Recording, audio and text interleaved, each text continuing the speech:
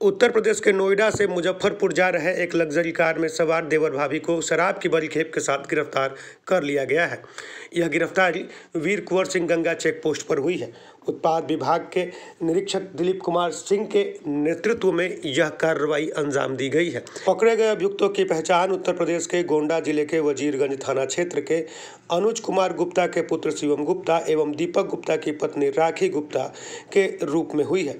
राखी ने अपने चार वर्षीय पुत्र को भी अपने साथ लिया था। उसकी कोशिश थी कि पुत्र के सहारे ही वह तस्करी में कामयाब हो जाए। लेकिन उत्पाद निरीक्षक दिलीप कुमार सिंह ने उनके मंसूबों पर पानी फेर दिया गया। शराब की बोतलें बरामद होते ही महिला और पुरुष दोनों को हिरासत में ले लिया गया। उनसे पूछताछ की गई। तो उन्होंने बताया कि यह खेप वह नोएडा से लेकर मुजफ्फरपुर जा रहे थे।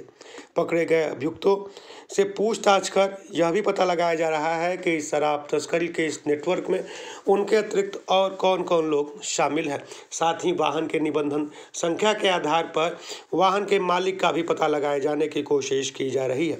बता दें कि उत्पाद निरीक्षक दिलीप कुमार सिंह के आगमन के बाद से ही लगातार शराब तस्करों पर कार्रवाई हो रही है। उत्पाद निरीक्षक दिलीप कुमार सिंह के द्वारा पिछले ही दिनों भारी मात्रा में शराब लदी दो कंटेनर को जब्त किया गया था जिसमें करोड़ों रुपयों की शराब बरामद की गई थी।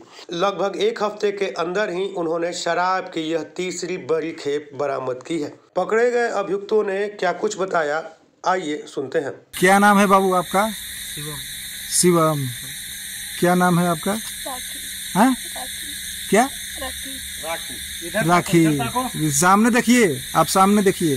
हाँ। सामने ये बच्चा कौन है? ये आपका बेटा है ठीक है कोई बात नहीं।